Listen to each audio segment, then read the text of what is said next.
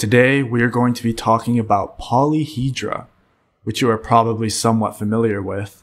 It's those closed shapes that you see in a lot of kinds of math.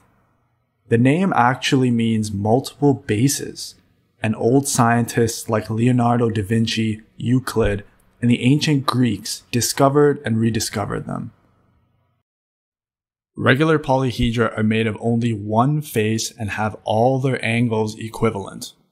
What is fascinating is that only five are possible. The tetrahedron, the hexahedron, otherwise known as a cube, the octahedron, dodecahedron,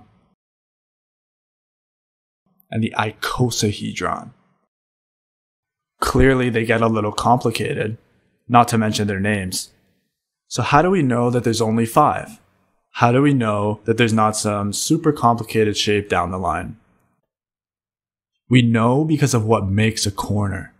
At each corner, all the angles must add to less than 360 degrees. Otherwise, the shape won't close, or if you try to force it, it will intersect itself. Then adding shapes we know, we get three triangles, four triangles, five triangles, three squares, or three pentagons. And that's it. The next biggest shape, a hexagon, has 120 degree angles, which times 3 is 360 degrees.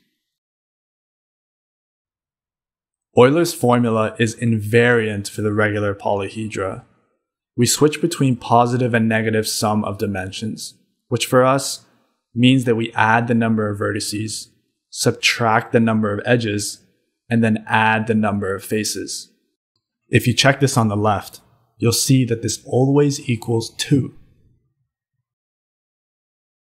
A dual shape is created by taking all the points in the center of each face and connecting them. What's interesting is that the tetrahedron produces itself.